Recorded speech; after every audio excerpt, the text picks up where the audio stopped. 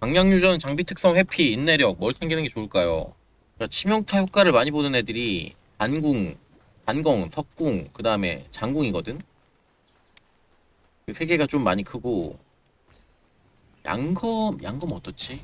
양검이 이제 최소 데미지랑 맥댐이랑 차이가 많이 나면 얘는 막 레키루스처럼 크게 나진 않잖아. 얘는 31에서 125인데 얘는 106에서 107, 177인데 크지가 않아. 저는 그렇게 생각합니다. 일단 PV 2만 하신다. 그럼 해피가 좋을 것 같고요. 왜 해피가 좋겠다고 생각하냐면 몹들은 치명타 세팅이 그렇게 막 유저들처럼 빡세게 돼 있진 않거든. 그래서 크리가 그렇게 많이 터지진 않죠. 자주 터지는 세팅은 아니라서 인내력 효과가 그렇게 큰 효과를 보지 못할 겁니다. 유저와의 싸움에서는 이제 다들 치명타는 무조건 세팅을 하고 나오기 때문에 좀 큰 효과를 볼 수 있다고 생각이 드는데 그 중에서도 이 무기별로 좀 다르다고 생각해요. 어떤 직업군은 치명타로 인한 그 강력한 데미지를 뽑아내는 게 효과가 큰 반면에 아까 보- 봤던 그 양손검은 큰 차이가 없단 말이지. 이걸 이렇게 꼈을 때 지금 민맥댐 차이가 137364한 어, 2.5배 정도 나나요? 네, 요거는 거의 뭐 4배, 5배 가까이 차이가 나죠.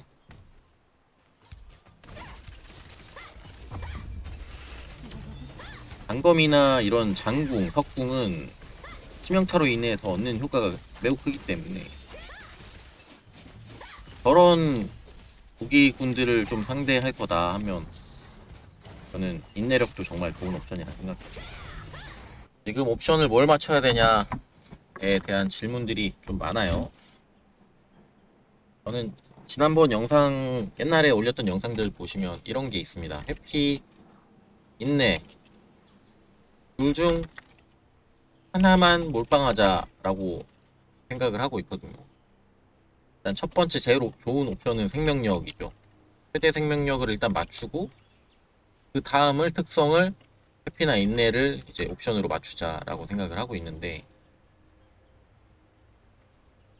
이제 뭐 근거리, 원거리, 마법 세 가지라서 사실 특성이 세 줄이기 때문에 최대 생명력이 없는 자리에서는 뭐 이런 거를 맞춘 다음에 다른 걸 맞춘다든지 이런 식으로 좀 해야 될것 같은데 그 다음 남은 게 이제 요즘에 뜨고 있는 게 강화지속 이런 거죠. 강화지속이나 약화지속. 이건 이제 마이너스고 강화지속은 플러스고 뭐 이런 상태인데 이런 것도 이제 뭐 직업군마다 달라. 직업군마다 일단 약화지속은 상대의 기절 같은 거나 이런 이제 시, CC기에 대해서도 이제 좀 이제 퍼센티지로 깎기 때문에 이거는 전 직업 PVP에서는 좋죠. 강화지속은 좀 사람마다 다를 수 있다 생각합니다. 강화지속이 많이 필요한 사람들이 있을 거고 아닌 사람들이 있을 거고. 근데 지금 제가 얘기를 좀 들어보니까 막 3초 강화짜리가 25%만 올려도 옵션을 이게 5초가 된다는 얘기 있더라고요. 뭐 5초가 이제 안쪽으로 보면은 한 뭐 4.1초 이런 이런 것도 이제 올림 처리를 해버릴 수도 있긴 한데 어찌됐든 간에 일단 효과는 좋은 것 같습니다. 예. 우리가 눈으로 보는 것보다는 효과가 더 좋은 것 같아요. 원래 이게 25%면 3초가 25%가 되면 원래는 이게 어, 3.75초가 돼야 되는 게 맞거든요. 근데 그거보다 사- 약간 이제 상향돼서 이제 좀 적용이 되는 것 같으니까 일단 좋다고 생각을 해요. 뭐 요런 느낌인데 제가 이제 둘 중 하나만 몰빵을 하자라고 얘기를 드렸던 이유가 아 아직 리뷰 안 했어요. 리뷰 못 했어요. 이건 좀 오랫동안 해야 돼서 어, 시호님 좀 이따가 말씀드릴게요. 일단 해피 있네 좀 얘기를 해드려야 될 것 같아서 일단 둘 중 하나 몰빵해야 된다고 생각하는 이유가 지난번에도 말씀드렸지만 이게 해피 같은 경우에는 데미지가 0이 되는 거고 인내는 데미지를 뭐 퍼센티지로 깎는 그런 느낌이죠. 둘 다 어중간하게 올려버리면 효율이 떨어집니다. 데미지를 0으로 만드니까. 그러니까 해피가 내가 됐어. 해피가 돼도 인내를 내가 올려놨던 게 좀 손해를 보는 게 좀 느낌이 있어요. 차라리 해피를 좀 더 올려가지고 내가 세 방을 해피를 할 거를 뭐 다섯 방을 해피를 하고 이러면 더 좋지 않겠습니까? 그래서 저는 해피가 좀더 좋다고 생각합니다. 물, 물론 이게 이제 다 로그 그래프이기 때문에 어느 정도 상한을 돌파해 버리면 효율이 매우 떨어지는 그런 부분은 좀 있습니다. 효율이 매우 떨어져요. 제가 생각하기에 이제 단검은 회피를 추천드렸는데 그 중에서도 단검은 근거리 회피를 무조건 먼저 올리자라고 생각을 하고 있어요. 근원마가 있는데 단검 같은 경우에는 이 특성 스킬이 너무 좋아서 제가 이제 단검을 하는 거거든요. PVP 할 때. 이게 있어. 그림자 잔상이 있습니다. 내 회피가 무려 570 증가하는데 이게 만렙 찍으면 690까지 증가됩니다. 그러니까 요거에서 추가적으로 내 원근마 회피를 추가를 해주면 되는 건데 이게 근거리 회피가 없어 얘는. 그림자 전상이 근거리 해피가 없습니다. 그래서 근거리 해피는 좀 맞춰주는 게 좋습니다. 부족한 근거리 해피를 맞추면 다른 원거리 해피나 마법 해피는 내가 뭐 두르거나 돌진 기동기를 쓰거나 뭐 이런 걸 하면 이제 이 기동 스킬 사용 후 무려 6초 동안이나 적용이 되기 때문에 PVP 할 땐 그냥 무한으로 해피가 570 혹은 그 이상 올라가 있을 수 있다. 라는 점이 있어서 저는 일단은 근거리 해피만 올리면 단검은 좀 생존력이 많이 올라간다고 생각합니다. 이 떼쟁 해보시면 아시겠지만 이 회피 효과가 정말 커요. 잘 안 죽습니다. 이거를 또 이제 회피를 많이 하게 되면은 나중에 이제 뭐 PVP 얘기를 드리면서 말씀드릴 건데 암살의 자세가 있기 때문에 공격 회피할 때마다 이 은신의 망토 재사용이 엄청 줄어들거든요. 이걸 통해서 떼쟁에서도 상대를 한 명 죽이고 살아남을 수가 있어요. 지금 뭐 암살 버그가 있다고 하는데 뭐 그건 잘 모르겠고 이게 아니더라도 상대한테서 회피를 많이 땡겨낸 다음에 은신을 풀감을 땡겨서 다시 은신하는 요런 이제 시너지가 있기 때문에 저는 그래서 단검은 가능하면 이미 회피도 높고 해서 시너지도 있기 때문에 단검은 무조건 회피가 좋다고 생각. 그 중에서도 근접 맞추고 나머지는 이제 전 최생을 맞추는 게 좋다고 생각하고요.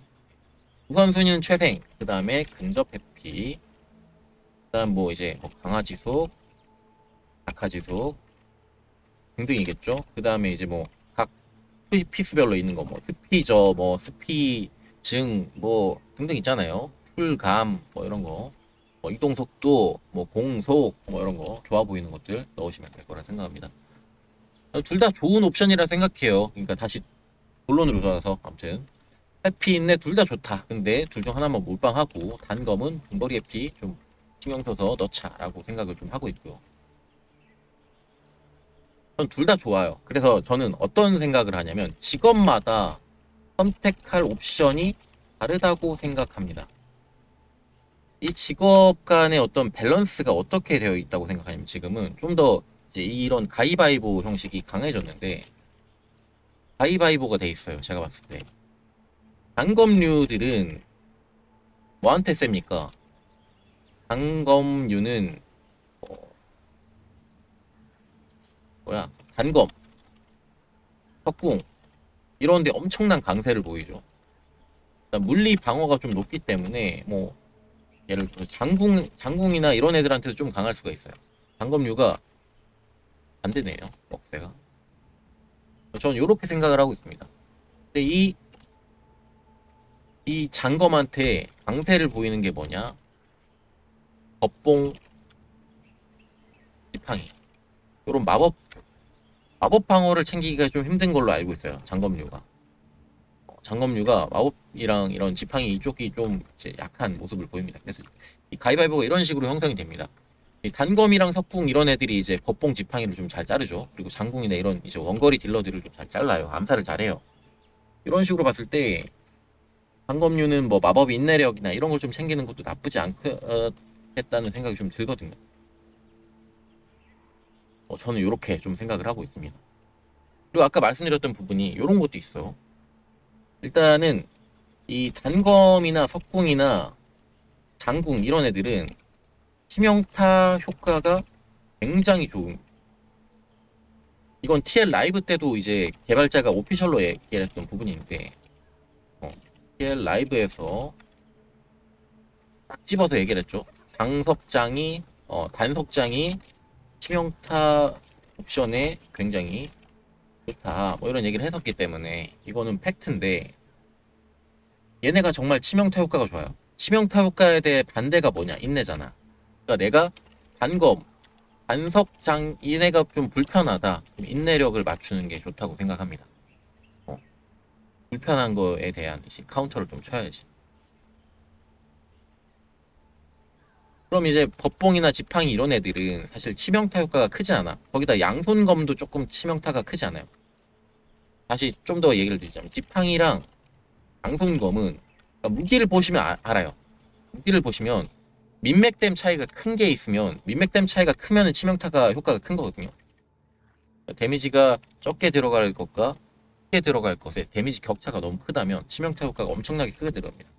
저 같은 경우 레키루스를 보시면 저는 지금 레키 끼고 있으면 데미지가 51에서 230 왔다 갔다 해요. 데미지가 거의 5배 가까이. 어, 4배에서 5배 사이죠. 데미지 차이가 워낙 크기 때문에 치명타가 안 터지면 데미지가 정말 적게 들어가는 편이에요. 근데 양손검 같은 경우에 제가 껴보면 그렇게 차이가 나진 않아요. 물론 차이가 있어. 차이가 있는데 한 2.5배 정도 차이죠. 이 정도의 차이이기 때문에 어, 양손검과 지팡이는 이번에 거기다가 이제 강타 시너지가 많이 추가돼요.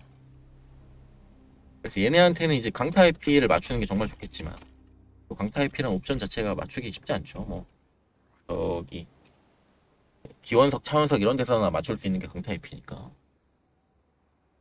이런 점에서 봤을 때는 어, 또 지팡이 양손검 상대로는 회피를 올리는 게 더 좋지 않나. 아예 데미지를 안 받으면 되잖아. 그죠? 횟수에 대한 어떤 그런 차이 이런 게 좀 높지 않을까 싶어요. 얘네는 인내력을 맞춘다고 해서 데미지 격차가 그렇게 크지 않기 때문에 효율 자체는 인내력보다는 회피가 좀 더 좋을 거라 생각합니다. 이런 식으로 좀 맞추셔야 되지 않을까 싶어요. 이게 개발자들이 의도를 한 거야. 게, 게임은 어찌됐든 가위바위보가 있어야 되거든요. 가위바위보가 있는데 내가 뭐 뭐야 뭔데 가위가 너무 아파. 이거를 신경 쓸 수 있고 아니면 내가 진짜 가위를 확실하게 잡겠어. 이렇게 이제 판단하실 수 있고. 이건 이제 가, 자신만의 선택이라 생각합니다. 둘 다 좋고 나쁘고는 없는데 어느 정도 신경 쓰셔서 어 요거는 장단점이 요렇게 있고 요렇게 있으니까 아 지금 내가 쟁을 해봤는데 얘가 너무 띠꺼워 그거에 대한 걸 맞추시는 게 맞지 않나 좀 이렇게 보이고요. 그래서 마지막으로 또 말씀드리자면 단석 하시는 분들은 장검을 이제는 그냥 치면 안 된다 생각합니다. 카베라고 하죠. 반격기가 너무 아파요. 음, 제 얘기는 요 정도까지. 혹시 뭐 말씀하실 게 있거나 궁금하신 거 있으시면 말씀 주세요. 일단 이것도 저희 개인적인 생각이라서 제가 뭐 완벽한 건 없는데 저가 지금까지 뭐 이제 해보면서 느낀 점을 좀 말씀드려봤습니다. 혹시라도 어, 뭐 자신의 의견이 좀 다르다 하시면 뭐 댓글 달아주셔도 좋고요. 공부를 해야 되는 편이라서 이런 거는 그렇습니다. 근데 요즘 진짜 단검 살기 힘들어. 이게 걔네가 바뀌었잖아요. 지팡이 패시브가 바뀌었잖아요. 그래서 너무 띠꺼운 게 이거 어디야 이거? 이거 침묵 효과 걸렸을 때 지속 시간 2초 감소합니다. 이게 너무 싫어요. 수면 속박, 상태 이성, 어, 뭐 내성이 뭐 증가합니다. 이것 때문인지 모르겠는데 요즘 애들이 잘 안 죽어요. 않은 애들이 잘 안 죽어. 얘네 자르려고 나 들어가는데 아 막 살아 돌아가면 막 짜증나. 옛날엔 분명 죽었는데. 장검은 다 피해야 되잖아요. 근데 그게 또 아닌 게 요즘엔 도트딜을 그렇게 건데 그리고 장검분들 얘기를 들어보면은 마법사들이 그렇게 싫대. 지팡이나 이런 애들이 데미지가 좀 많이 아프. 마법 데미지는 그 좀 데미지 경감이 안 되기 때문에 장검의 그 counter barrier 반격기가 자신의 방어, 그러니까 데미지 방어에 대한 퍼센티지로 상대한테 반격을 하는 거잖아요. 마법 데미지는 그 경감을 많이 못하기 때문에 경감에 그 비례한 데미지가 크지 않은 거죠. 그렇게 전 이해를 했어요.